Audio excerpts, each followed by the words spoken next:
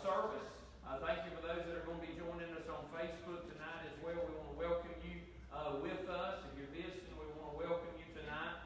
Um, we haven't done this year, we have not done family night uh, through 2020. Uh, with everything going on, we haven't been able to do that and have our dinner and our fellowship. And one thing that we were going to do this year for family night is that we were going to let the youth sing and, and to lead the music on those particular nights. So uh, tonight we got a special treat for y'all that our youth is going to be playing instruments and singing tonight. So we're going to be worshiping along with them, of course. So we're excited. We got a great night uh, in the Lord playing. Amen. So if you're able to, let's stand up all over the house. And we're going to get started with a word of prayer this evening. So how about we pray as we get started? Heavenly Father, we come before you tonight in the name of your Son, Jesus Christ. We are so grateful and thankful to be in this place tonight. God, thank you, Lord Jesus. Uh, Lord, that we live in a country of the land of the free and the home of the brave, Father God. I thank you God, for the sacrifices that it has taken to give us and to grant us the freedom, the freedom of religion that we have, that we can come into your house, God, anytime we choose or please, and worship together with our brothers and sisters in Christ and magnify your name, God. We thank you for the United States of America. We thank you for our church. We thank you, Father, for these young people that are going to be playing and singing tonight. Lord Holy Ghost, would you just put a special anointing upon them, God, and move among our midst and uh, touch us as well tonight, Lord. We thank you for all of this, and we give you this service in the name of Jesus. And everybody said, Amen, amen and amen. All right,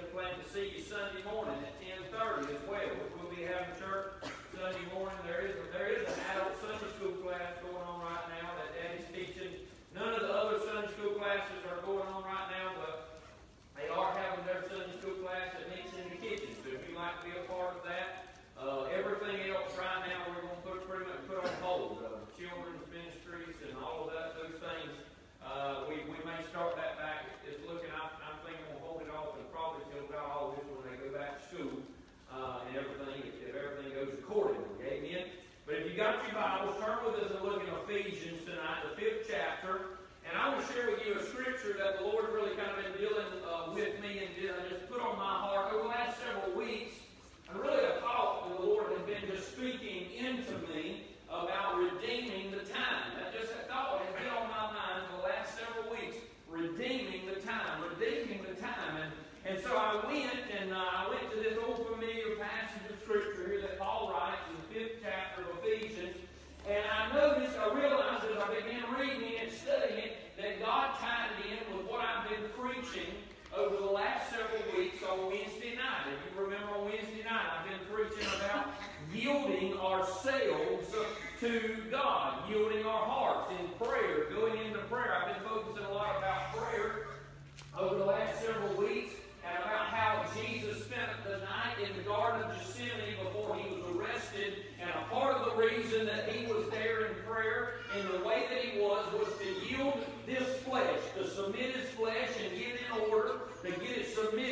What God the Father had for him to do. That's why Jesus prayed like this. He said, Lord, let this cup pass from me. Nevertheless, thy will be done. The flesh always wants to run, and the, the spirit is willing. The flesh is weak, but the spirit is willing. And so tonight I want to tie this together um, about redeeming the time, but also submission and yielding ourselves unto God. Just the way the Lord laid it, laid it on my heart tonight. So let's begin this evening by reading this passage of Scripture in Ephesians, the fifth chapter. We'll begin in verse 15. My Bible titles and heads this as Walking in Wisdom. It says, See then that you walk circumspectly, not as fools, but as wise, redeeming the time, because the days are evil. How many of you know that applies to us today? Amen. We need to be walking wisely uh, we need to be walking circumspectly, not as fools, because the days are evil. The Bible has said this. And I tell you, we don't need to be surprised or shocked about what's going on in the world today. Amen. The Bible says there's going to come a time when people would call evil good and good evil. We're living in that generation today. If you don't really know that, but we are. But go on in verse 17 says, Therefore do not be unwise, but understand what the will of the Lord. Understand what the will of God is. Verse 18 says, And do not be drunk with wine, which is dispensation, but be filled with the Spirit, speaking to one another in psalms and hymns and spiritual songs, singing, making melody in your heart to the Lord, giving thanks always for all things to God the Father in the name of our Lord Jesus Christ. Then he gets to verse 21, submitting one to another in the fear of God. Let's stop right there with the reading of God's Word. I think I went on past what I told Amanda to write down, but that's all right. Amen. Let's pray over the reading of God's Word. Heavenly Father, we come before you tonight in the name of your Son, Jesus Christ. Again, we're grateful to be in this house. Thank you for the young people that led us in worship tonight. Holy Spirit, I ask that you move upon their class right now as they're upstairs, God, preparing to receive the Word. I pray that you also would move in here, Holy Spirit, anoint me, touch these lips of clay that I may speak your word. And I pray you touch the hearts of our congregation to receive it likewise. In the name of Jesus, I ask and pray right now. And everybody said, Amen, and amen. Paul begins this little passage here under what my, what my Bible title is Walk in Wisdom. And he says this that we need to redeem the time by walking circumspectly. Well, let me begin with just that particular verse, and let me give you the definition of circumspectly. Webster says it like this thinking carefully about possible risk before doing or saying something. Paul simply defined the word itself with his own text when he said, we don't need to be fools, but we need to be wise. That is what circumspectly is. That we need to walk wisely. Paul made a similar statement in the book of Colossians in the fourth chapter when he said this. He said, walk in wisdom. Walk circumspectly towards those who are outside, outside of the faith, redeeming the time. He says we need to make the most of our time in these last days. Can I tell you something that time is a precious thing? Time is a precious, precious thing. And here in the writings of, of Paul in the book of Ephesians and also in Colossians, Paul instructs us to redeem the time by walking wisely. I want to just take a moment and just, just kind of, kind of, I would say harp on that, but I just want to speak about redeeming the time. The New Living Translation puts it like this Make the most of every opportunity. I put it like this Make the most of every day. Time is the most valuable commodity and resource that we have.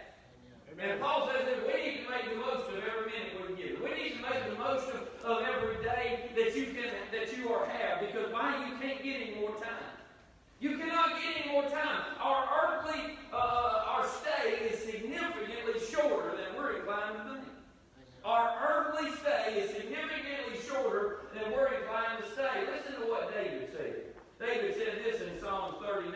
He says, Lord, make me to know my end, and what is the measure of my days, that I may know the frail, how frail I am. Indeed, you have made my days as hand's breadth, and my age is as nothing before you. Certainly, every man at his best state is but a vapor Selah. He said that's something to stop and to think about. We know that James echoes those words later in James chapter 4 when he says, Whereas you do not know what will happen tomorrow, for what is your life is even as a vapor that appears for a little while and then it vanishes away. Can I tell you that we need to be mindful that our days are short? We need to be mindful that uh, uh, the days are evil and we need to make the most of, of every minute in which the Lord has given us. Redeem the time. Somebody say that with me. Redeem the time. Now he says that and he begins this little passage with saying, redeem the time, but then he gets to verse 17, and that's what I want to kind of to go to next and speak to you about. Let's look at verse 17. He says, Therefore, do not be unwise, do not be foolish. But then he says, But understand what the will of the Lord is. He said, if you're going to redeem the time, if you're going to be wise, if you're going to make the most of the life that God has given you, then it, you need to understand what the will of the Lord is for you. Amen? That's pretty clear in what he's saying there. Do you know that understanding what God wants of us is a, should be of utmost importance to a Christian? Us, it, I'm going to say that again. Understanding what God wants of us should be of utmost importance to a Christian. I'm going to say it one more time. Y'all get it, so I can say it straight. Say it right. Understanding what God wants of us should be of utmost importance to a Christian. Amen. Now, if I had somebody say amen on that. Do you remember when Saul was on the road to Damascus? Saul was on the road to Damascus. He was persecuting Christians. And the Bible says that the Lord showed up on the road to Damascus. And he came down in such a glorious light that it literally blinded Saul, who became Paul, and he could not see. And the Lord speaks to Saul, and he says, Saul, Saul, why are you persecuting me? And Saul asked two important questions. He said, Lord, who are you? And secondly, he said, What do you want me to do? Lord, who are you and what do you want me to do? Do you know those are the two most important questions that anybody can ever ask? Lord, who are you? Do you know it is of utmost importance for us to answer that question for ourselves, for us to, to search the scriptures, and for you to find out and you to know who the Lord is personally for yourself? Yes, Who is the Lord? Can I, can I ask you tonight, do you know who the Lord is? Do you know who Jesus Christ is? Do you know, well, well, he's that fellow that hung on the cross. He's that fellow that you preach about on Sundays about he died. Or can you say, he's my Lord and Savior? I know him personally. I know him. I walk with him. I speak to him every morning. I speak to him every night. I have a devout relationship with him. Do you know who the Lord is? That's one of the most important questions that you ever ask. Who, you, who is the Lord? Who is he to you? But the second thing that the Apostle Paul asked that is likewise of, of importance, he said, Lord, what do you want me to do? What do you want me to do? Have you ever stopped to ask the Lord to take time and ask the Lord that question? Lord, what do you want me to do? That is the question of tonight that I feel that the Lord is drawing me to. Now, there's a lot of answers to that question, isn't there? That's what we would call a loaded question. A loaded question in which I could go a million different directions as I am preaching this sermon.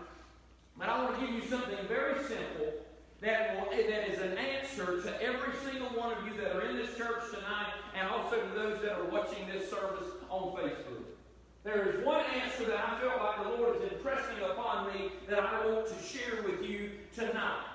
Now, underneath this, when he when we get this, he speaks about redeeming the time. Know what the will of the Lord is in verse 17. I read 18, 19, and 20 in there. He speaks about singing songs to one another. Kind of sounds like church to me in those few verses there that we read. But then when we come to verse 21, at the end of that little spiel, he says this submitting one to another in the fear of God. Submitting submitting one to another. And the Lord began just to deal with my heart on that passage about submission. About submission. And this is about submitting to one another, and, then, and we're going to talk about that in a minute. And I'm going to talk uh, to tie this back together. But the Lord began dealing with my heart about submission, about knowing the will of God for your life. What does God want of me? And I got to thinking about that word of submission. Then I thought back to James chapter 4, verse 7. It says these simple words Submit yourselves to God. Submit to God. Resist the devil, he'll flee to you, flee from you. He simply says, Submit to God. Will you say those words with me? Submit to God. Do you know the one thing that God desires and asks of every single one of you that are in this church tonight, including the pastor, including you that are watching here tonight, and the desire that God has for you is that you would submit yourselves unto Him. What is God's will for you? You know, a lot of times we think we ask all these big questions when it comes to the will of God, and I'm going to preach on something next week about the will of God. But sometimes when we ask, Lord, what is your will? We think about, you know, what is your will for me? A lot of young people ask, Lord, what is your will for me about a career and a job? What is your will about my ministry? Or who am I going to marry? You know, you ain't been thinking about that one, have you right there? Thinking, who, what is your will for me to who I might marry? Or what we think of these big things. But God showed me this very simple thing tonight that I believe that He's calling us to and calling our church to, like I've been preaching over the last several weeks. The will of God for you is to walk in submission. Yes, Lord. What does God want for you? What does God want for you? Young and old, in between, God desires for you to walk in submission. You need to write that down. What is God's will for you? To walk in submission. To submit yourself unto Him.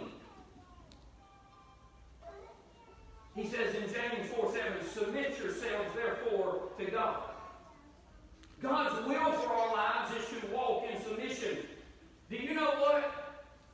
Jesus Christ walked in submission to the Father. Yes, he did. Jesus Christ walked in submission or obedience to the Father. Jesus was not down here for 33 and a half years doing his own thing. Do you hear what I'm saying? Jesus was not down there for 33 and a half years doing his own thing.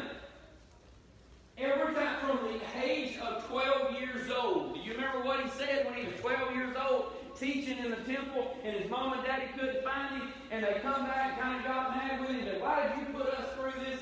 He says, Don't you know I've got to be about my Father's business? He told the disciples, and he taught over and over and over again, he said, I have come to do the will of the who? The Father.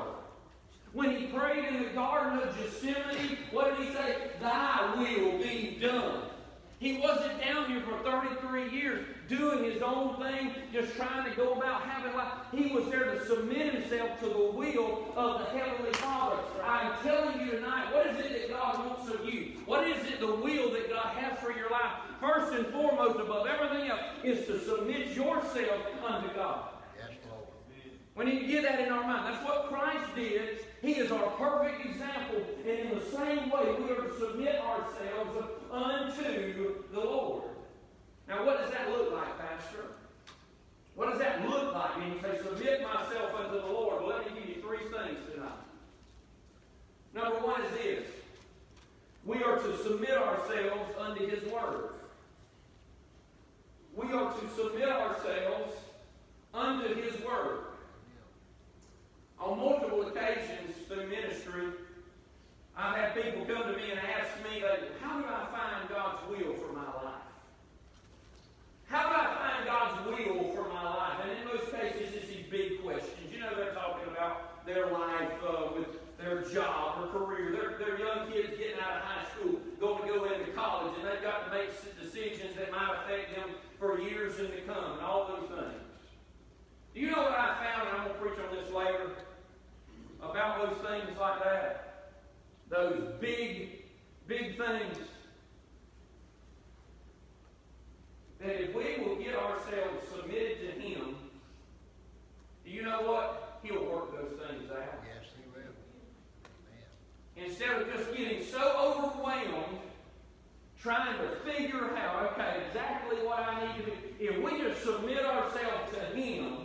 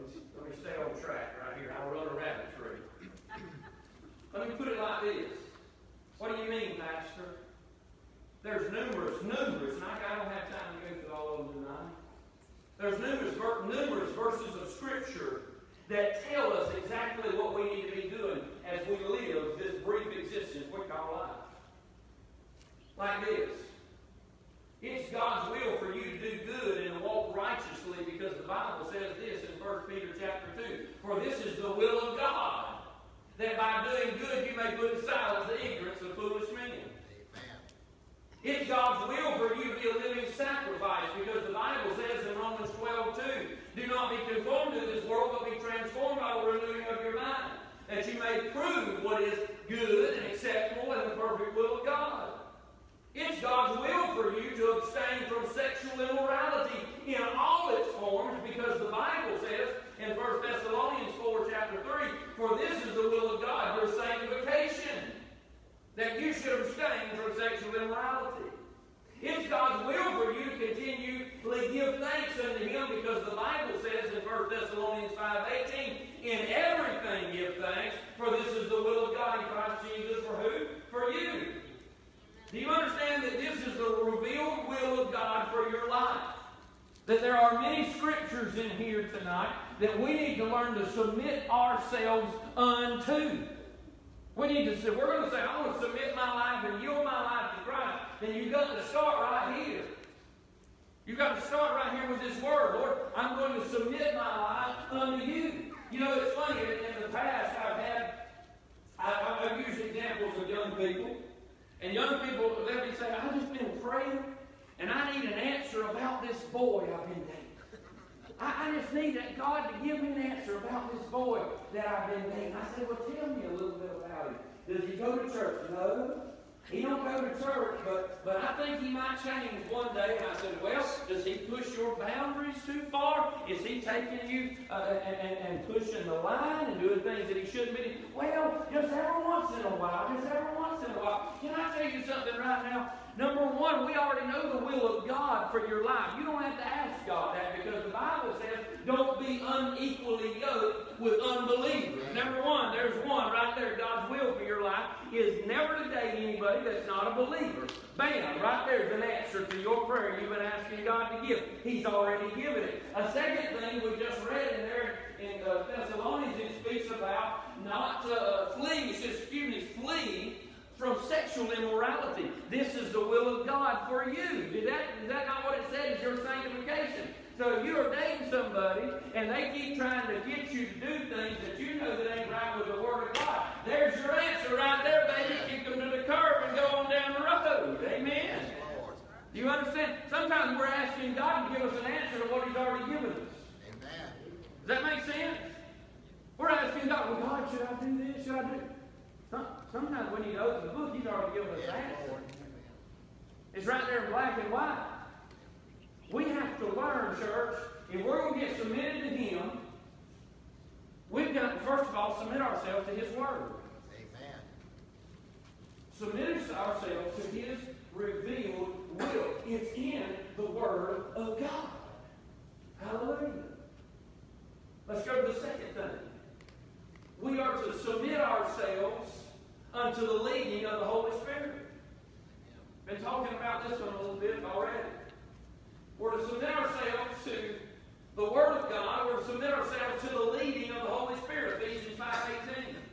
And do not be drunk with wine, in which is dispensation, but be filled with the Spirit, he says. Can I just point this out? Paul speaks about, this is in the same passage that we just read, if you still got your Bibles open, he speaks about redeeming the time.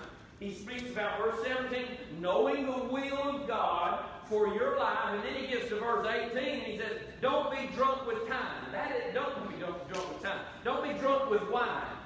Do you see that that is connected with foolishness and wasting time? Being drunk and plastered is not wise and it's a waste of time. Amen. But he says instead, he compares, he says, don't be drunk with wine, don't be drunk with liquor, don't be drunk with beer, don't be drunk with uh, corona, but he says, be filled with the Spirit, he says. Look at Galatians 5.16.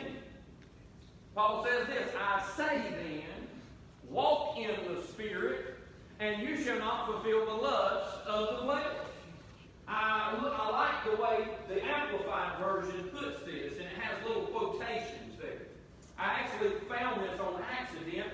My little Bible app was on still amplified when I looked it up instead of King James, but I found it, and I found it interesting. He says this, but I say, walk and live habitually in the Holy Spirit, and then it has the kind of the, the commentary on that. Responsive to, controlled, and guided by the Holy Spirit. It says, walk in and live habitually, continually in the Holy Spirit. That means be responsive to, be controlled by, and be guided by the Holy Spirit. What does that say? He said you need to be submitted to the leading of the Holy Spirit. That's what he's saying. Be submitted to the leading, to the prompting, to the conviction of the Holy Spirit. He said that when you do that, when you're submitted to the Holy Spirit, he says it's going to help you keep you from fulfilling the cravings and the desires of the flesh. It's kind of what I've been preaching. I preached the other day. It reminded me of the words of, of Jesus of, in Matthew 26, 41, when I read that Amplified Version. Remember what Jesus said? Remember what Jesus said to Peter, James, and John in the Garden of Gethsemane? When, when, when Peter, James, and John was over there sleeping and Jesus went to pray and he come back and he finds them sleeping, he said, you can't pray just not even an hour? And he tells them, watch and pray lest you what? Enter into temptation. The spirit indeed is willing, but the flesh is weak. And I compared how Peter, the difference between Peter and between Jesus. Peter spent the night sleeping. Jesus spent the night praying. Peter, that same night, failed to be surrendered to the will of God and the leading of the Holy Spirit. He's cutting off ears.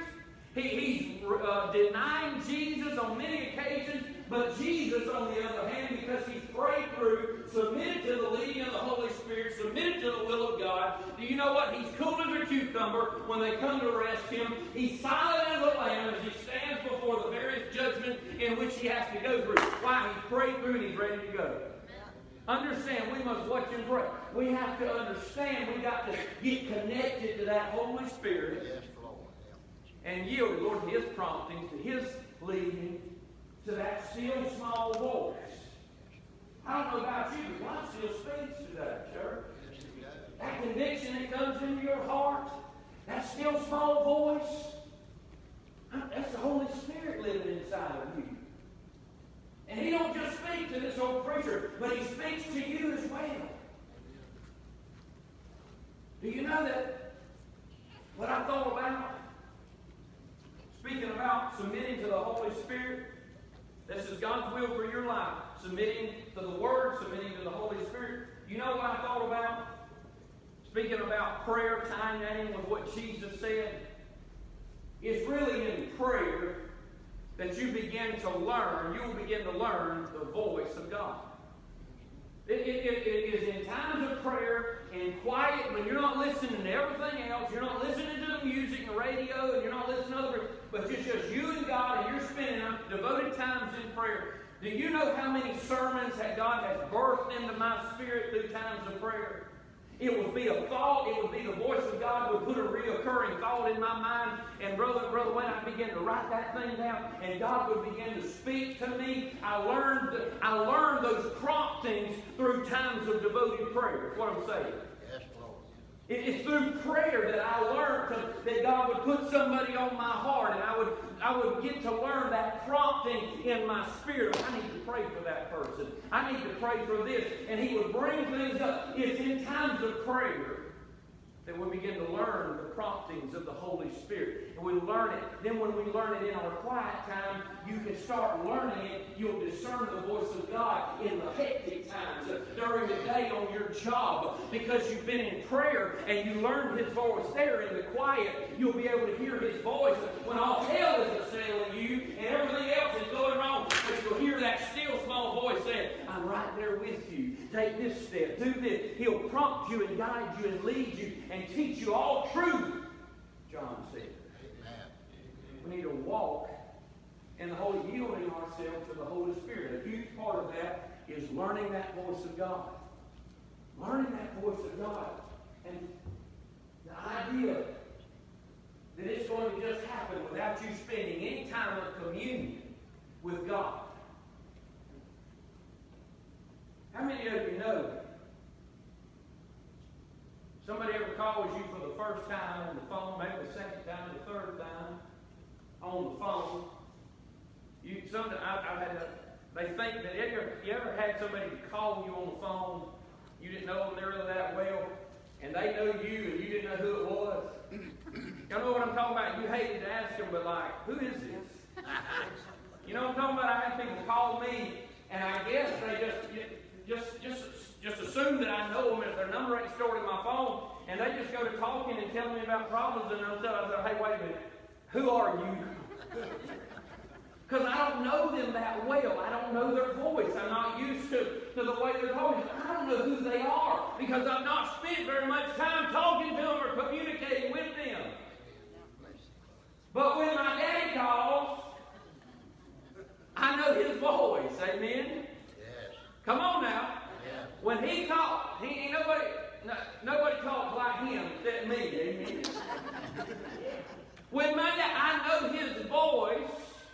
Don't matter from whose phone or not. I know his voice by the time he be why because we spend a lot of time talking together. When you spend time in prayer with your heavenly Father, when you keep communicating, you will begin to learn the voice of God.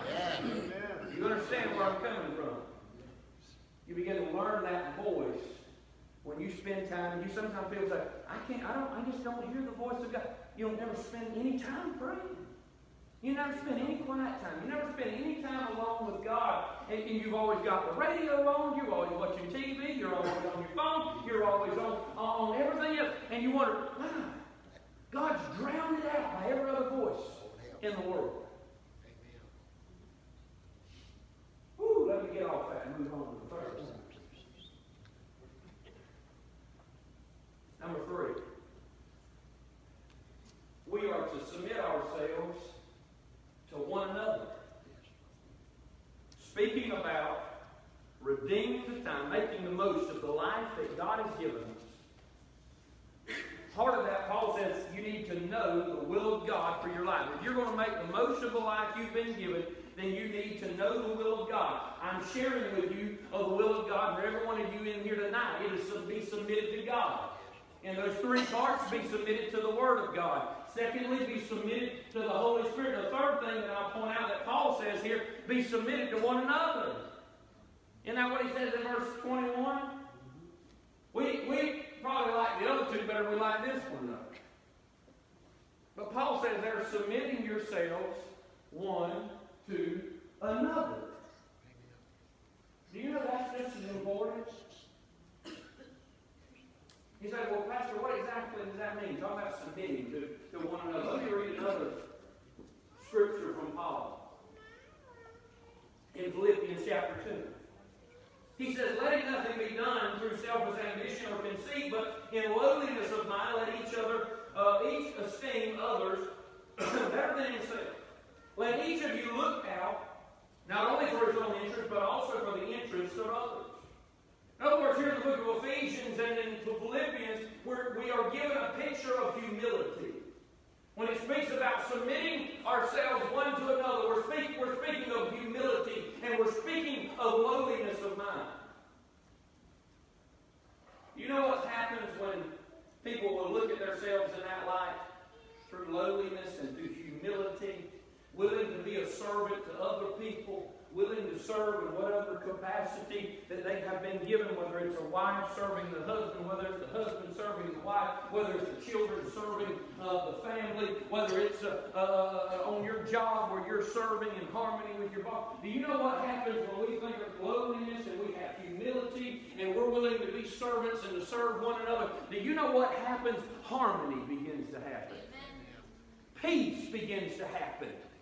Unity begins to happen. When people are willing just to serve and to work in the position uh, that God has given them, and there, there's a willingness in their heart, and there's not this pride and this arrogance, and we don't we've got we always got to be in control. But we just will serve and be submitted. Do you know what harmony begins to take place? Is there anything any sweeter or better than harmony No. and unity in a family? What's that next scripture, Amanda? Psalms 133. Behold, how good and love, how good and pleasant it is for brethren to dwell together in unity. Amen. When it comes to the house of God, when folks are just willing to serve one another, isn't it a wonderful thing? You know, when the Apostle Paul writes this about submitting to one another, can I remind you that when you submit to another person, and that whatever authority it might be, do you know you're not just submitting to them, you're submitting to God? Paul expands on this thought of submission on earth in the next verses. In Ephesians chapter 6, and it's not going to be put up there, I'm not going to read it all for you. You got your Bibles, you'll see it. In Ephesians chapter 5, I'm sorry, that we just read, when you get to verse 22 and go through verse 33, do you know what all of those verses are about? It starts like this in verse 22. Wives, submit yourselves unto your husbands. And then later on it speaks about husbands, love your wives as Christ loved the church. Really, it's talking about wives, submit yourselves unto your husbands, but also in the same way, husbands are going to submit themselves unto their wives, and they're going to bless them and give them the needs and the desires that they have as well. Then he goes on from there in the beginning of Ephesians chapter 6, verses 1 through 3. He talks about children obeying their parents and being submitted unto them. How many of you know that when a husband and a wife will work together, there's unity in a home? Yes. Isn't it a lot better when they're submitted to one another and working together on the same page than instead of one trying to rule the roost? You just remember, men, you always remember this fact. You might be the head of the house, but she's the neck it. Amen? God meant for you to work together. You are the priest of the home, and you should be a spiritual leader. You should lead in spiritual things. You should take care and supply for your family and all of those wonderful things. But I want you to understand it's a partnership between you, her, and God. Amen? Right. Then he speaks about the children submitting unto the parents. I don't care how old you are, but you should always honor your parents. Right. I don't care if you're 65 and they're uh, 85. Your mom or daddy's always going to tell you what to do. If you ain't figured that out by now, my goodness, where you would be. Amen?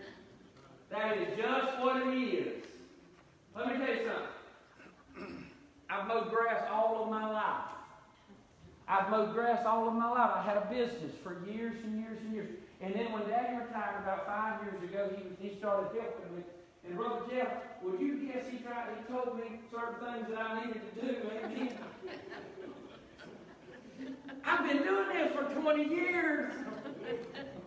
But, but I started thinking, well, we need to do this and we need to do this. I know I'm going to get to it, amen. That's just a mom, that's just a daddy, that's just a mama, young people.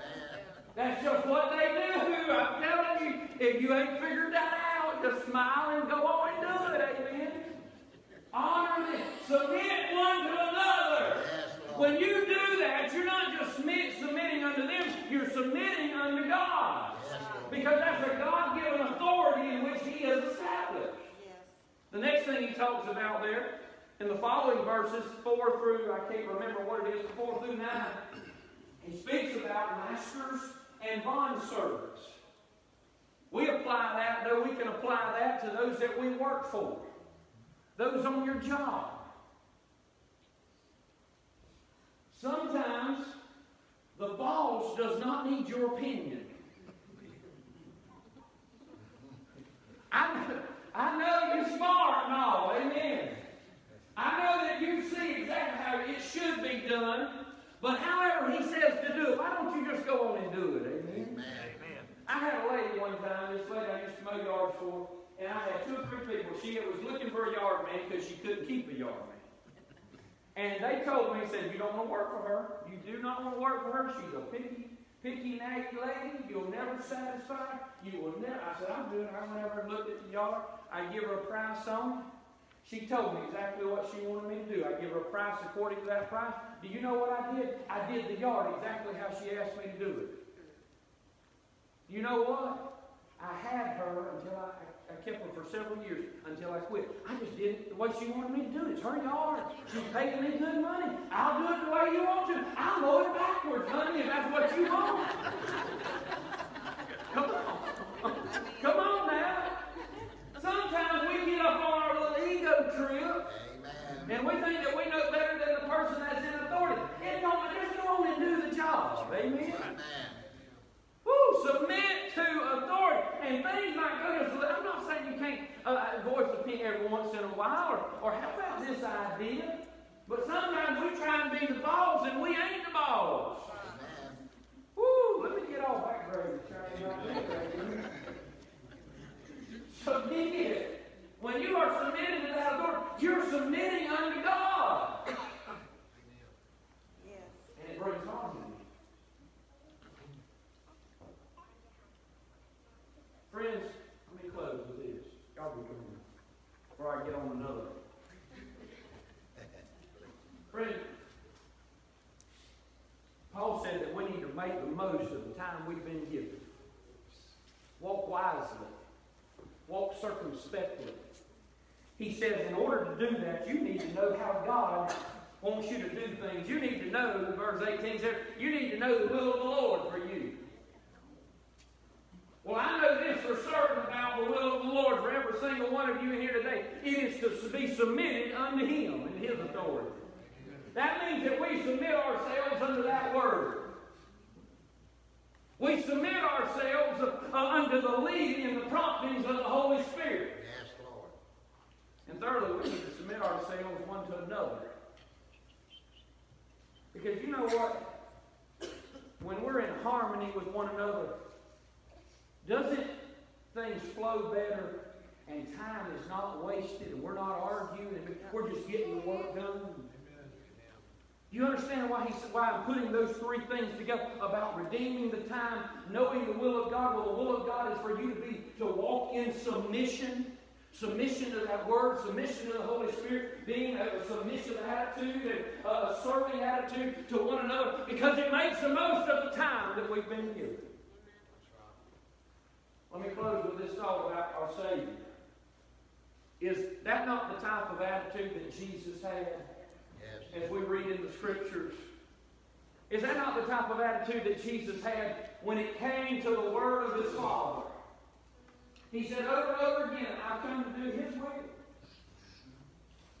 I, have come to do his will. I, I, thy will be done, he prayed in the garden. Was Jesus, was Jesus not submitted to the leading of the Holy Spirit? Yes, Lord. Wasn't he? Yes. Yes. Do you remember what Matthew chapter 4 says? When Jesus, after Jesus was, was baptized and he come up out of the water? You remember what happened? The Bible says a voice came from heaven and said, This is my beloved Son, whom I am well pleased. And at the same time, a dove, the Holy Spirit, excuse me, in the form of a dove, comes down and anoints Jesus. After his baptism and anointing of the Holy Spirit, there at his baptism, the Bible says that the Holy Spirit led him into the wilderness to fast and pray for 40 days. Jesus was submitted to the leading of the Holy Spirit. Think about that third thing. Was not Jesus submitted to one another? And when he submitted to one another, wasn't, wasn't he a, didn't he have a heart of a servant? Didn't he wash the feet of the disciples? Any of y'all want to wash my feet tonight? Miss Peggy, you want to? Come on now. I just took a bath before we came. Good. Didn't he wash the feet? Of, was he not uh, have the attitude of submission? He was willing to serve wherever he was at. Think about when it came to the government. Did not Jesus say when he took that coin in his hand, whose inscription is on this? He said Caesar. And he said, Well, render unto to Caesar's what is Caesar's, and render unto God what is God. So we see a heart of submission from uh, in Jesus, whether it had to do with the Father, the Word of the Father, whether it had to do with the Holy Spirit, or whether it had to do with who he was around, and even the government and authority. He was submitted. He had a heart of submission. You see where I'm coming from tonight? He had a heart of submission. And I'm telling you tonight, that's where the Lord is drawing us tonight, is to be submitted unto Him. Jesus is our perfect example of a submitted life. Therefore, let us follow in His footsteps uh, in, the, in this way. We're going to make the most of the time we've been given. Amen. Stand your feet all over.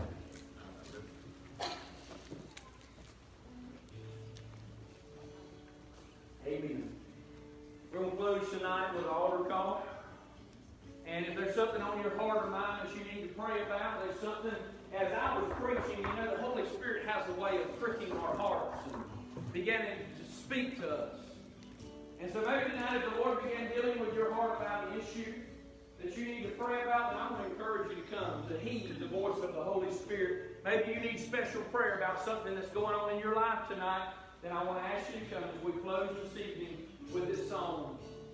But walk in submission. As we sing, we sing a verse from chorus.